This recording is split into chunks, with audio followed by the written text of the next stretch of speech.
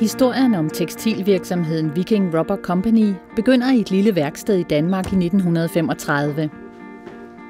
Der er på det tidspunkt, nøjagtigt som i dag, et stort behov for vand- og vindtæt arbejdstøj til fiskere, der skal på havet i al slags vejr. På det tidspunkt er arbejdstøj til fiskere bomulds- eller uldtrøjer imprægneret med olie for at gøre tøjet vandtæt.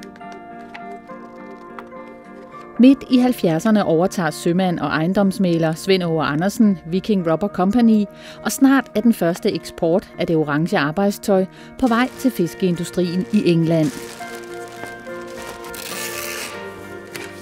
Midt i 80'erne beslutter Svend Ove Andersen at tage på en længere sejltur og overlader ansvaret for firmaet til sin unge søn Kurt Michael Andersen. Og en ny epoke begynder – En epoke, der de næste årtier fører den danske tøjproducent ud på de internationale markeder, mens der udvides og bygges til i Forborg i Danmark. Firmaet vokser stødt. Det samme gør antallet af kunder.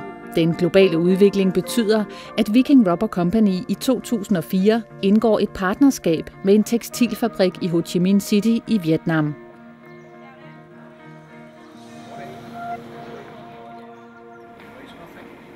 Samarbejdet er en succes, og skridt for skridt udvider Viking Vietnam produktionshal og antallet af medarbejdere, der nu er oppe på 450.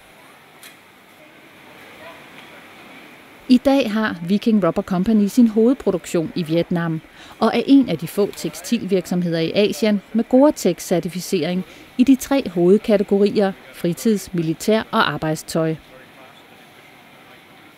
Viking Rubber Company leverer arbejdstøj til så forskellige kunder som fiskeindustrien i Chile, det tyske forsvar og politi, samt til hospitaler i Europa. Produkterne udvikles i tæt samarbejde mellem kunderne og Viking Rubber.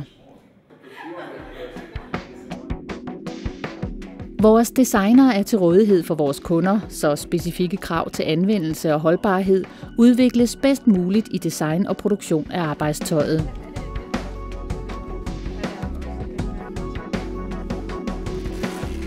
Snart 80 år efter starten i et lille værksted i Danmark, har Viking Rubber Company udviklet sig til en global virksomhed med kunder verden over.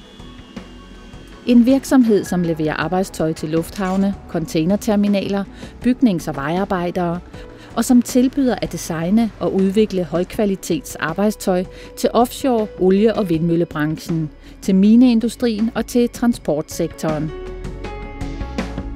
Vi har fokus på kvalitet fra start til slut.